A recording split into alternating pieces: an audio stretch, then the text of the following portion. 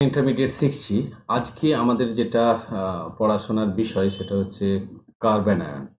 Curve, anyone, এইভাবে মনে রাখবে স্পেলিংটা, তাহলে মনে থাকবে কার্বানায়ন।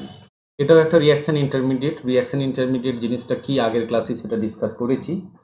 কারণ ঘটনা হচ্ছে, আমরা বেসিক্যালি কার্বনায়ন মানে একটা সিম্পল হ্যাঁ আমরা প্রত্যেকটা রিয়াকশন ইন্টারমিডিয়েটে যেটা পড়ছি সেটা হচ্ছে কি? বেসিক্যালি স্ট্রাকচার আর স্ট্রাকচার খুব সংক্ষেপে স্ট্রাকচার অ্যান্ড স্টেবিলিটি এই দুটোকে আমরা বেসিক্যালি প্রত্যেকটা রিয়াকশন ইন্টারমিডিয়েটে একটু একটু করে দেখে নিচ্ছি, যাতে করে আমাদের অর্গানিক কেমিস্ট্রি পড়াটা অনেক ইজি হয়ে যায়। ওকে নাও একটা সিম্পল কার্বনায়ন যদি সিম্পলিয়েস্ট কার্বনায়ন আমরা বলি, সেটা কোনটা হতে পারে? সেটা হচ্ছে ধরো সিএইচ থ্রি নেগেটিভ অর্থাৎ মিথাইল কার্বনায়ন তাই তো? এটাই সবচেয়ে সিম্পল হতে পারে। এটা স্ট্রাকচার কী হবে? স্ট্রাকচারে যে কার্বন আয়ন মানে কার্বনের উপর নেগেটিভ চার্জ কার্বনের উপর নেগেটিভ চার্জ একটা ইউনি নেগেটিভ কখন হবে? কখন হবে সেটা তোমরা পরিষ্কারভাবে বুঝতে পারছ যে কার্বনের ভ্যালেন্স ইলেকট্রন কটা আছে? চারটে। আর চারটের জায়গায় যদি একটা ইলেকট্রন বেড়ে যায় প্লাস ওয়ান হয়ে যায়, অর্থাৎ টোটাল ইলেকট্রন পাঁচটা হয়ে যায়, তাহলে একটা নেগেটিভ হবে। মানে টোটাল কার্বনের কার্বনের অ্যাকচুয়াল ইলেকট্রনিক কনফিগারেশন কি? অ্যাটমিক নাম্বার হচ্ছে সিক্স তাই তো? তাহলে electronic configuration one S two two S two two P two ঠিক আছে? দুই ভ্যালেন্সি শো করতে পারে, আবার এটা চার কার্বন জেনারেলি ভ্যালেন্সি শো করে, এটা ধরো টু এস তোমরা জানো। এটা ধরো টু পি যদি আমি বলি টু পি টু পি মানে একটা, দুটো ইলেকট্রন আছে। এবার এর এনার্জি ডিফারেন্স খুব কম বলে টু এস থেকে একটা ইলেকট্রন টু পিতে চলে যায় এবং তখন কার্বন চারটে আনপেয়ার ইলেকট্রন থাকে এবং যদি এসপি থ্রি আবার হাইব্রিডাইজড হয়ে যায়, চারটে অরবাইটালি ইকুইভ্যালেন্ট হয়ে যায়, তাহলে এখানে তিনটে, এখানে একটা, চারটে অরবাইটাল এবং একটা, দুটো, তিনটে, চারটে এরকম ইলেকট্রন আনপেয়ার হয়ে যায় এবং সেটার ভ্যালেন্সি শো করে কত? ফোর ভ্যালেন্সি হয়। ঠিক আছে এসপি থ্রি হাইব্রিডাইজ হলে আদারওয়াইজ একটা ইলেকট্রন এইখান থেকে এখানে যাবে আর কি। সেই অবস্থায় কত সেটা ভ্যালেন্সি শো করবে? না হ্যাঁ চার চার ভ্যালেন্সি শো করবে, কারণ চারটে আনপেয়ার ইলেকট্রন আছে।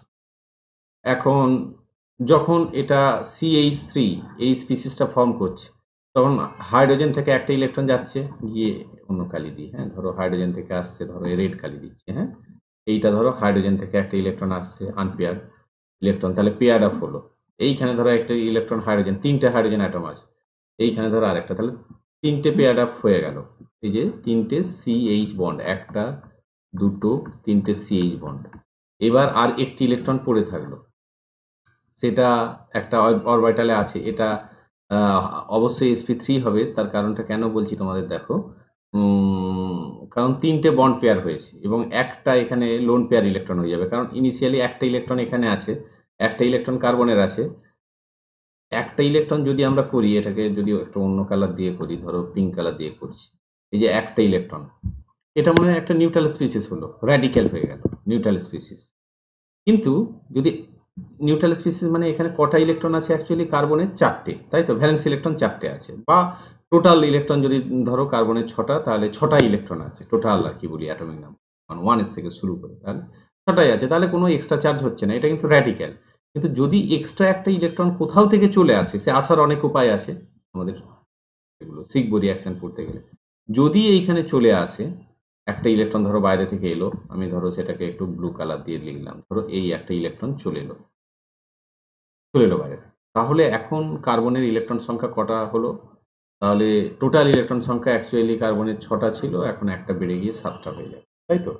যেহেতু এখানে একটা চলে এলো, অথবা তুমি বলতে পারো ভ্যালেন্স ইলেকট্রন শুধু যদি ভাবো, চারটে ভ্যালেন্স ইলেকট্রন ছিল, এখন এক্সট্রা একটা চলে এসেছে, পাঁচটা। তাহলে এক্সট্রা একটা চলে আসা মানে একটা এক্সট্রা নেগেটিভ চার্জ তাই তো? তার মানে এটা কার্বন আয়ন তৈরি হয়ে গেল। খুব সিম্পল ব্যাপার কার্বন আয়ন এবারে স্ট্রাকচার কি হবে? কার্বন আয়ন মানে এখানে একটা অরবাইটালে আছে, একটা লোন পেয়ার হয়ে গেল। এই যে এই যে, এই ইলেকট্রনটা কোথাও থেকে একটা সোর্স থেকে এসেছে। কোন সোর্স থেকে কীভাবে আসতে পারে? বিভিন্ন রিয়াকশন স্টাডি করলেই আমরা সেগুলো বুঝতে পারব যে, যেগুলো মানে কি বলব যে সিএইচ বন্ড যখন, বিভিন্ন রকম বন্ড যখন ব্রেক হবে কার্বনের সঙ্গে, যদি কোনো গ্রুপ সেই ইলেকট্রন পেয়ারটাকে না নিয়ে কার্বনকে দিয়ে চলে যায়, সেই অবস্থায় নেগেটিভ চার্জ নিশ্চয়ই জেনারেট করবে। সেটাই ব্যাপার আর কি। তাহলে এইখানে এবার সব পেয়ার আপ হয়ে গেল। তাহলে এই যে এইখানে একটা লোন পেয়ার আর তিনটে বন্ড পেয়ার এক, দুই, তিন। তিনটে বন্ড পেয়ার মানে তিনটে সিএইচ এক, দুই, তিন। আর একটা লোন পেয়ার তাহলে বন্ড পেয়ার তিনটে, একটা লোন পেয়ার তাহলে টোটাল কত হলো? চারটে পেয়ার চারটে পেয়ার মানে হাইব্রিডাইজেশন অর্ডার কি? হাইব্রিডাইজেশন অর্ডার হচ্ছে চার মানে S P three three plus one three plus one is equal to four মানে এস এর উপর ওয়ান পি এর উপর three is equal to four তাহলে S P three hybridized this is actually তাহলে কার্বন আয়ন স্ট্রাকচার বললে প্রথমেই আমরা হাইব্রিডাইজেশনটাকে কি সেটাকে বের করার চেষ্টা করব? Carbanion in carbanion in car anion carbon atom carbon atom is sp3 hybridized. Sp3 hybridized hybridized. Clear? Sp3 hybridized. খুব ভালো কথা। তাহলে sp3 hybridized হলে তার স্ট্রাকচার কি হয়? টেট্রাহেড্রাল জেনারেলি অ্যাকচুয়াল স্ট্রাকচার কি? তোমার পরীক্ষায় উত্তর এইভাবেই লিখবে actual predicted structure from hybridization predicted actual predicted structure করে। অ্যাকচুয়াল না করে প্রেডিক্টেড স্ট্রাকচার ফ্রম হাইব্রিডাইজেশন কি হবে? না sp3 hybridization তাহলে কি হয়? না tetrahedral tetra tetrahedral hedral tetrahedral geometry হওয়া উচিত। টেট্রাহেড্রাল জিওমেট্রি হওয়া উচিত। তাই তো? কিন্তু একটা তার মধ্যে orbital will be occupied by lone pair তাহলে রিয়েল স্ট্রাকচার লোন পেয়ারটা ভিজিবল হবে না। তার মানে রিয়েল স্ট্রাকচারটা কি হবে? কার্বন মাথায় আর একটা ট্রাইগোনাল প্লেন তার মানে লোন পেয়ারটাকে বাদ দিয়ে যে স্ট্রাকচারটা দাঁড়াবে, সেটা is nothing but a pyramid অর্থাৎ অ্যাকচুয়াল স্ট্রাকচারটা কি দাঁড়াল? সেটা হচ্ছে যে পিরামিডাল স্ট্রাকচার হ্যাঁ? অ্যাকচুয়াল স্ট্রাকচারটা সেটা কি দাঁড়াল? না পিরামিড কার্বন আয়নের স্ট্রাকচার তাহলে কি? আলটিমেট ধরো সিএইচ থ্রি নেগেটিভ এর আলটিমেট স্ট্রাকচার দাঁড়াল pyramid pyramid pyramidal structure clear next যেটা আমাদের বিষয় কার্বন আয়ন কি সবসময় এসপি থ্রি হাইব্রিডাইজডই হয়? সবসময় কি জেনারেলি যেগুলো simple carbon ion simple carbon ion সেগুলো এসপি থ্রি হয়। সিম্পল কার্বন আয়ন সেগুলো এসপি থ্রি হ্যাঁ সেগুলো হচ্ছে এসপি থ্রি কিন্তু একটু যদি এমন হয় যে কার্বন আয়ন ধরো মানে এমন একটা কার্বন আয়ন যে তার পাশে কনজুগেশনে যাওয়ার সুযোগ আছে। সেক্ষেত্রে কিন্তু সে এসপি টু হয়ে যাবে। কারণ এসপি টু না হলে পি অরবাইটাল প্যারালাল বা ল্যাটারাল ওভারল্যাপ করতে পারবে না পাশের ডবল বন্ডের সঙ্গে। সেই কারণে কিন্তু তখন তাকে বাধ্যতামূলক এসপি টু হতে হবে। এবার দেখো যত হাইব্রিডাইজেশন অর্ডারটা বাড়ে SP from SP two SP two SP three system stability pi আবার রেজোনেন্স স্টেবিলিটিটা তার থেকেও বেশি। অর্থাৎ কেউ যদি এইরকম ভাবে যে এসপি থ্রি থেকে আমি যদি এসপি টু হয় at the cost of that if I can participate in resonance ধরো রেজোনেন্সে পার্টিসিপেট করতে পারছে, তখন কিন্তু সে প্রেফার করবে এসপি টু তাই হতে। কারণ এসপি টুতে রেজোনেন্সে পার্টিসিপেট করতে পারবে এসপি থ্রিতে পারবে না। এবং সেই অবস্থায় কার্বন আয়ন কিন্তু কি হয়ে যাবে ট্রাইগোনাল প্লেনার এবং সেটা হয়ে যাবে এসপি টু যেমন আমি এক্সাম্পল তোমাদের দিচ্ছি, ধরো এই একটা কার্বন আয়ন এই কার্বন আয়নটা কোথা থেকে? তোমরা ওই অ্যালডল কন্ডেনসেশন যখন পড়েছো, তার মেকানিজম করতে গিয়ে এই কার্বন আয়নটা পেয়েছ? তাই তো? অ্যাসিডালডিহাইড থেকে এই কার্বন আয়নটাকে পাওয়া যায়। এবার এই যে কার্বন আয়নটা এসপি টু হবে, কেন? এই কার্বন আয়নটা পাশে সিওর সঙ্গে রেজোনেন্স যাওয়ার এটা এসপি টু হতে হবে। কারণ পাশে সিওর সঙ্গে রেজোনেন্সে যাওয়ার সুযোগ পাচ্ছে। যদি এসপি টু না হয় এই কার্বনটা তাহলে এই যে পি অরবাইটাল যেটা মানে ভ্যাকেন্ট নয় তো, এখানে ফুল আছে লোন পেয়ার অফ ইলেকট্রন সেই পি অরবাইটালটা কিন্তু এই সিওর সঙ্গে ল্যাটারাল ওভারলপে যেতে পারবে না। মানে এইভাবে আঁকলেও আমি অ্যাকচুয়ালি কি স্ট্রাকচারটা কি? অ্যাকচুয়ালি স্ট্রাকচারটা আমি আরেকবার ড্রয়িং করে দিচ্ছি। অ্যাকচুয়ালি স্ট্রাকচারটা কেমন? যে সিএইচ টু ধরো এইভাবে দেব আমি সি ও এইচ এইভাবে যদি লিখি। তাহলে এই যে সিও এই যে এর পাই সিস্টেম আর এইখানে পি অরবাইটাল এইটা যদি মানে প্যারালাল না হয়, তাহলে কিন্তু রেজোনেন্স সম্ভব না। এবং সেই কারণেই এই পি অরবাইটালটা এখানে দেখা যাচ্ছে কি? না এসপি টু মানে পি অরবাইটালটাতেই ইলেকট্রনগুলো থাকবে। পিওর পি অরবাইটালে পিওর পি অরবাইটাল মানে বাকি যে দুটো পি অরবাইটাল এবং একটা এস অরবাইটাল তারা পরস্পরের মধ্যে মিক্সিং আপ হবে এবং sp two carbon ion generate করবে এবং একটা পিওর পি অরবাইটাল ইনট্যাক্ট রয়ে যাবে আনহাইব্রিডাইজড রয়ে যাবে। এবার দেখো এইটা এইভাবে রেজোনেন্সে পার্টিসিপেট করতে পারবে, এইটা এইভাবে যাবে, এইটা এখানে যাবে, গেলে কি তৈরি হবে? এটাকে বলে ইনোলেট হ্যাঁ? CH two double bond C O এখানে নেগেটিভ তাই তো এইভাবে ডিলোকালাইজেশনটা হবে। এই আয়নটাকে বলে ইনো ইনোলেট আয়ন ইনোলেট ইনোলেট কেন বুঝতে পারছ? এইটা যদি ওএইচ হতো, তাহলে একটা ইন আর একটা ওএইচ মানে অল দুটো মিলে ইনল সেই ইনল থেকে একটা এইচ নেগেটিভ হয়ে গেছে মানে বেরিয়ে চলে গেছে, সেই জন্য এটার নাম হয়েছে ইনলেট আয়ন এবং এই ইনলেট আয়নটাই কিন্তু বেশি রেজোনেন্স সাইবেটে কন্ট্রিবিউশন করবে। কেন বলো তো? মোর নেগেটিভ অক্সিজেনের উপর নেগেটিভ চার্জ আছে। স্ট্রাকচার এটাকে যদি বলি ওয়ান আর এটাকে যদি বলি টু দুটো রেজনেটিভ স্ট্রাকচার বা ক্যানোনিক্যাল স্ট্রাকচারের মধ্যে স্ট্রাকচার টুটাই মোর ইম্পর্টেন্ট কারণ অক্সিজেন মোর ইলেকট্রোনেগেটিভ অক্সিজেনের উপর এখানে নেগেটিভ চার্জ আছে। আর এইখানে লেস ইলেকট্রোনেগেটিভ কার্বনের উপর নেগেটিভ চার্জ আছে, তার মানে এইটা বেশি স্টেবিল হবে, এই দু নম্বর স্ট্রাকচারটা এবং এই ইনলেটটাই কিন্তু বেশি সিগনিফিক্যান্ট ওকে যদি আমাদের কার্বন আয়নটা হয়তো লিখতে ভালো লাগে, কিন্তু ঘটনা হচ্ছে ইনোলেটটা বেশি ইনোলেট বা ইনোলেট এইটা হচ্ছে বেশি মানে কি বলব স্টেবিল ওকে তো যাই হোক, এবং এই যে এই যে রেজোনেন্সে পার্টিসিপেট করছে, তার মানে এটা বুঝতে পারছ তুমি এসপি টু হাইব্রিডাইজড হ্যাঁ? ওকে ডবল বন্ড আছে এসপি টু হাইব্রিডাইজড তাহলে এই ধরনের কার্বন আয়ন কিন্তু এসপি টু হয়। এবার খুব কয়েকটা আরও টিপিক্যাল কিছুটা, কয়েকটা কার্বন আয়ন নিয়ে আমি একটু ডিসকাস করে দিচ্ছি। যেমন আমাদের প্রথমেই যেটা কোশ্চেন মনে আসবে, যে ঠিক one degree two degree carbon আয়নগুলোকে যদি সাজাই, ধরো ওইখানে আমি কি করেছিলাম? কার্বোক্যাটায়নের ক্ষেত্রে এই মিথাইল কার্বোক্যাটায়নটা ছিল লিস্টিবিল এখানে কিন্তু রিভার্স এই মিথাইল কার্বানায়নটা ওখানে কার্বোক্যাটায়নটা লিস্টিবিল ছিল, এখানে কা সরি ওখানে কার্বোক্যাটায়নটা ছিল লিস্টেবিল এখানে কার্বো কার্ব অ্যানায়নটা হয়ে যাবে মোস্টেবিল হুম? তার কারণটা তোমরা নিজেরাই বুঝতে পারছ যে ইন্ডাকটিভ এফেক্টের জন্য কি হবে? যে electron density on central carbon atom আরও বাড়তে থাকবে। যে সি থ্রি এগুলো যেহেতু, কি বলব, যে প্লাস আই এফেক্ট শো করবে এবং সেই কারণে নেগেটিভ চার্জ বাড়তে থাকবে এবং এটা স্টেবিলিটি কমতে থাকবে। তো এবার ইলেকট্রন উইডোয়িং গ্রুপ যদি থাকে, তাহলে স্টেবিলিটিটা বাড়বে।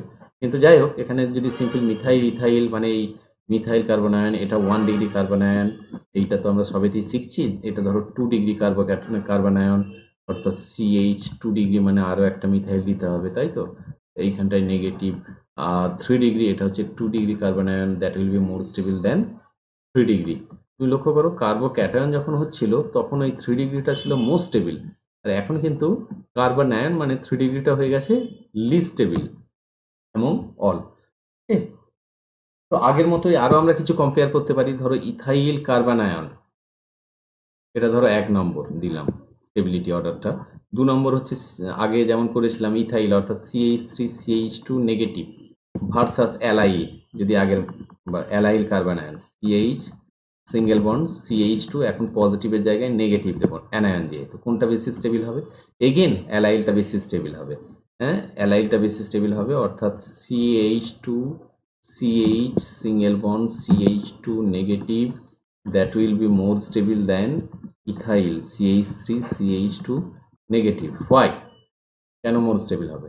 তার কারণ এগেন রেজোনেন্স এইখানে ডবল বন্ড আছে এবং ঠিক এইটা তাহলে কী হবে? এসপি টু হয়ে যাবে। রেজোনেন্সে গেলেই কিন্তু এই কার্বন আয়ন এসপি টু হয়ে যাবে। অথচ এই কার্বন আয়নটা কিন্তু এসপি থ্রি এটা যেন খেয়াল থাকে, তাই তো? এটা এসপি থ্রি এটা হচ্ছে এসপি টু কারণ এখানে রেজোনেন্সে যাওয়ার সুযোগ নেই। এটা এসপি টু এবার তাহলে রেজোনেন্সে যাবে এবং রেজোনেন্সে গেলে কি তৈরি হবে? দেখো এইটা এইটা হ্যাঁ? এইটা এইটা তৈরি হওয়া মানে যেটা হবে আমাদের সেটা হচ্ছে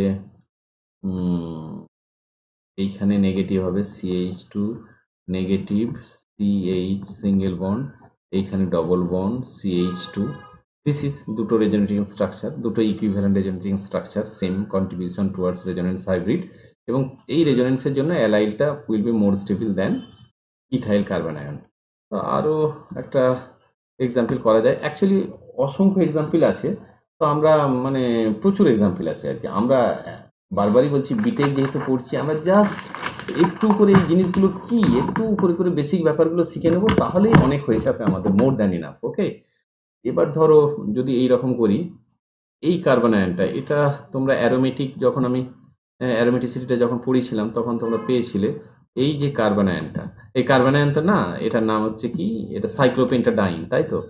কার্বন আয়ন বলব না, এটা সাইক্লো পেন্টা ডাইন সাইক্লোপেন্টা ডাইন, দুটো ইন আছে, তাই তো? সাইক্লোপেন্টা ডাইন। এটা অ্যাকচুয়ালি অ্যাসিডিটি শো করে। কেন অ্যাসিডিটি শো করবে বলো তো? তার কারণ, ধরো এইখানটায় যদি জলে এটাকে দিয়ে দাও, এই জল কি করে? প্রোটনকে অ্যাবজর্ব করে নেয়। এ প্রোটন ছেড়ে দেয়। জল প্রোটন অ্যাবজর্ব করে নেয়। করে এইচ থ্রি ও প্লাস করে এইখানে যেটা তৈরি হয়, সেটাকে লক্ষ্য করে দেখো কি হচ্ছে। এইটা এইটা এইটা এইটা, একটা এইচকে নিয়ে নিল। তাহলে এখানে নেগেটিভ হয়ে গেল। এই নেগেটিভ হওয়া মানে এই যে অ্যানায়ন এটা কার্বন আয়ন একটা, তাই তো? এই কার্বন আয়নটা কিন্তু কি? Will be highly stable due to gain of aromaticity this is aromatic aromatic কেন অ্যারোমেটিক তোমরা এখন ভালো করেই জানো এটা। সেটা হচ্ছে যে এটাকে রেজোনেন্সে পার্টিসিপেট করতে পারে বলে এইখানটায় নেগেটিভ ডিলোকালাইজড আর কি। সিক্স পা ইলেকট্রন আছে, যেটা ডিলোকালাইজড যে তার মানে এইটা এইটা এইটা এইটা, এইখানটায় ডবল ওয়ানটা হয়ে গেল এখন, এইখানটায় হাইড্রোজেন এইখানটায় নেগেটিভটা চলে গেল, এইখানটায় ডবল ওয়ান হলো। তাহলে আবার এইটা নেগেটিভটা এইখানে চলে এলে এইখানটায় নেগেটিভ এলো, ঠিক আছে? তাহলে নেগেটিভটা তার মানে এইখানটায় ডবল বন্ড হবে, এইখানটায় সিঙ্গেল বন্ড এইখানটায় ডবল বন্ড হ্যাঁ? আর এইখানটায় ডবল বন্ড মানে এইখানটায় negative this is this is এটা আর একটা স্ট্রাকচার হলো। সিমিলারলি আবার এইটা দিকে যাবে এইটা দিকে যাবে, এইরকম করে ইটিসি চলতেই থাকবে। আমি ইটিসি দিয়ে রেখে দিলাম। ইটিসি চলতেই থাকবে। যার আউটকামটা কি হচ্ছে টোটাল আউটকাম হচ্ছে এতগুলো রেজনেটিং স্ট্রাকচারের এই কেটে দিচ্ছি আমি, এতগুলো রেজনেটিং স্ট্রাকচারের আউটকাম হচ্ছে এই রকম যে, এই যে সব পাই ইলেকট্রনগুলোই ডিলোকালাইজড অবস্থায় আছে, কোনো একটা কার্বনের উপর লোকালাইজড অবস্থায় নেই এবং ডিলোকালাইজড আছে মানে তাদের ফেটটা হবে এইরকম যে সবগুলো পার্সিয়াল ডবল বন্ড হবে এবং নেগেটিভ চার্জটা চার দিক দিকে ঘুরে বেড়াবে। এবং সেই নেগেটিভ চার্জ কত? পাঁচটা কার্বনে পাঁচটা ইলেকট্রন ছিল, একটা করে প্রত্যেকে পিওর অরবাইটাল কন্ট্রিবিউট করছিল, একটা এক্সট্রা নেগেটিভ চার্জ মানে দুটো পাই, দুই দুই চার আর একটা কার্বনের আগে ছিল আর নেগেটিভ একটা হয়েছে এবং সেই কারণে চার দুই ছয়। Total number of pi electron কটা এখন? তাহলে সিক্স পাই ইলেকট্রনস সিস্টেমটা কি? সাইক্লিক এবং প্লেনার প্লেনার। ওকে? প্লেনারের স্পেলিংটা মনে রাখবে, সবাই ভুল করো। P L A N A আর হ্যাঁ নট ই আর ওকে? তাহলে সিক্স পাই ইলেকট্রন সাইক্লিক এবং প্লেনার তাহলে সেই সিস্টেমটা কি হয়? আমরা হুকেল থিওরি অনুযায়ী জানি অ্যারোমেটিক তাহলে অ্যারোমেটিক কোনো সিস্টেম হলে সে এক্সট্রা স্টেবিলিটি পাই এক্সট্রা স্টেবিলিটি পাই স্টেবিলিটি পাই তার মানে এই ধরনের কার্বন আয়নগুলো কিন্তু একটু বেশি স্টেবিল হবে। এই যে কার্বন আয়নটা একটু বেশি স্টেবিল হবে। তাহলে অনেক ক্ষেত্রে এরকম বিভিন্ন কারণ রেজোনেন্স হতে পারে অ্যারোমেটিসিটি বা আরও অনেক কিছু কারণ থাকতে পারে। কিছু কিছু কার্বন আয়ন এক্সেপশনালি বেশি স্টেবিল হয়। ওকে তো আমি সামান্য কিছু ডিসকাস করলাম। তো পরের ক্লাসে আমি র্যাডিক্যাল করব, করেই আমরা অন্য চ্যাপ্টারের মধ্যে ঢুকে যাব। সবাই ভালো থেকো।